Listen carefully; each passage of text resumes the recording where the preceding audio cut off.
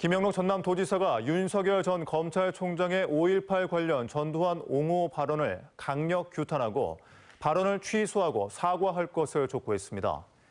김 지사는 오늘 5.18 원흉 전두환을 찬양한 윤석열 전 총장을 강력히 규탄한다는 제목의 성명을 통해 윤 전 총장의 망언은 민주주의와 헌법 질서를 부정하는 것이며 민주주의를 위해 희생한 광주 전남 시도민에 대한 심각한 모독이라고 비판했습니다.